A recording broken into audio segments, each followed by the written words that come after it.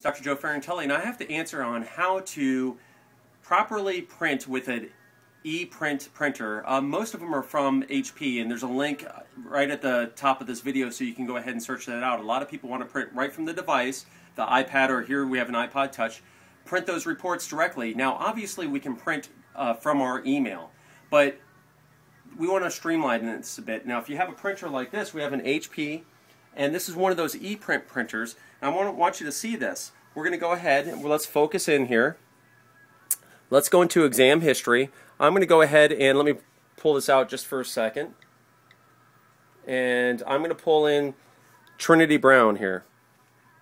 And what we're going to do is we're going to pull in, we're going to choose AirPrint. And when this comes up, you can see her deviations, right? All you do is you touch this button up here it's going to print. Now, if you have a printer on your network, it may already pre-populate this. It has to be on the same wireless network. If we print select printer, you're going to see it's looking for the printer. And there's the OfficeJet. We're going to select that one, and then we're going to hit print.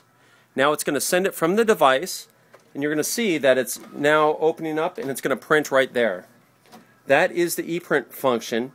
Now, alternatively, while this is printing out, uh, it's going to take a second to print that alternatively, the easy way to do this too, if you don't have an e-print printer, is these assessments are being carbon copied to your, your email. So with that being said, all you have to do is drag that PDF into your EMR or just double click and open up that PDF and you will be able to print it without having one of these fancy printers. As you can see, it's printing up now.